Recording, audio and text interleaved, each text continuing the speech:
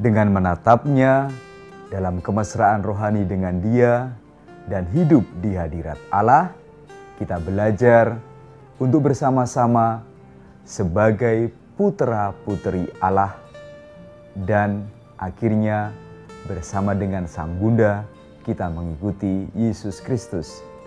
Itulah ideal panggilan hidup Karmel menurut konstitusi mereka nomor 27. Saudara-saudari seiman, pada akhir minggu ini kita akan menyambut Hari Raya Santa Perawan Maria dari Gunung Karmel yang juga bagi para Karmelit menjadi ibu rohani yang menyemangati mereka dan menjadi nama bagi ordo mereka.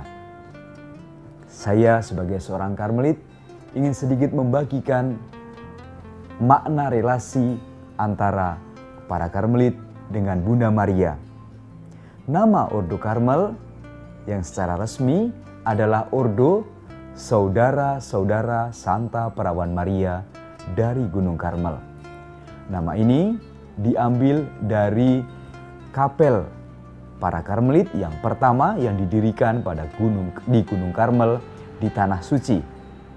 Nama ini akhirnya dipakai oleh mereka ketika mereka kembali ke Eropa dan memperkenalkan diri sebagai para biarawan, para mendikan yang akhirnya menjadi nama selama-lamanya Ordo Karmel, Ordo Saudara-saudari Santa Perawan Maria dari Gunung Karmel. Tentu saja ada relasi historis maupun relasi eh, rohani, relasi spiritual dengan Maria. Kami disebut saudara-saudara Santa Perawan Maria. Dan kami semua adalah murid-murid Yesus Kristus yang mengikuti dia. Maria dalam kasanah spiritualitas Karmel adalah ia yang kita teladani imannya bagaimana menjadi murid Kristus yang sempurna dan akhirnya menjalin relasi dengan Tuhan Allahnya menjadikan sabdanya, sabda Allah sebagai penuntun hidup dan hidupnya digerakkan seluruhnya oleh sabda Tuhan. Itulah juga ideal para karmelit.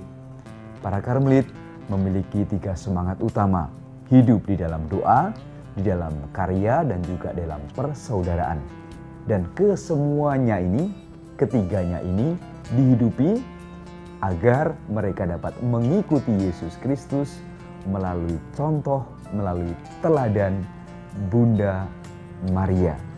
Bagi para karmelit, Maria bukan sekedar ibu, tapi juga menyemarakkan hidup mereka, menyemangati hidup mereka, dan akhirnya mereka selalu menimba buah-buah dan juga harta rohani dari cara Maria untuk sungguh-sungguh menjadi murid Yesus menjadi ibu Tuhan dan juga akhirnya menjadi bunda rohani bagi para karmelit.